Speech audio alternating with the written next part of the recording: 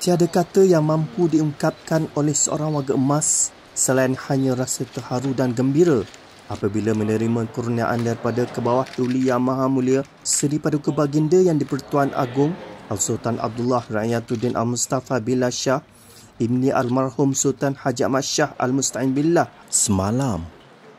Salamah Muhammad Shah 63 berkata, Beliau sangat teruja, gembira dan tidak pernah menyangka menerima kurniaan daripada tuanku yang di-Pertuan Agong.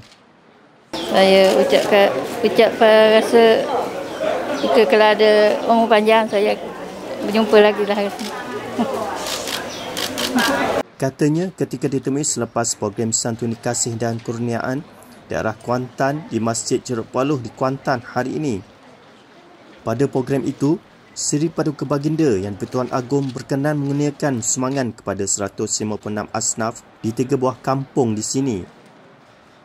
Sumbangan berupa wang tunai dan barangan makanan itu disampaikan kepada asnaf terpilih membabitkan tiga buah kampung iaitu Kampung Sepat, Kampung Kuala Penur dan Kampung Ceruk Paluh.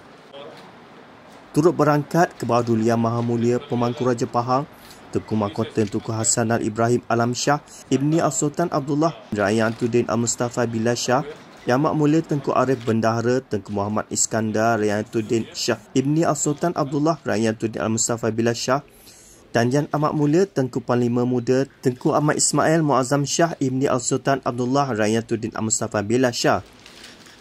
Sementara itu, seorang lagi penerima, Roziah Abdul Rahman, 57 yang mewakili suaminya, Husin Abdullah, mereka sekeluarga sangat teruja apabila dapat berjumpa dengan seseri paduka baginda secara bersemuka.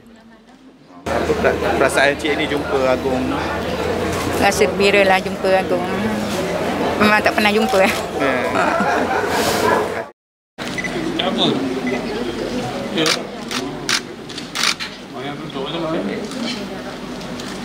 Ambo dah sikit tutup. Cuba tahu dah. Jumpa doktor. Okay? Oh.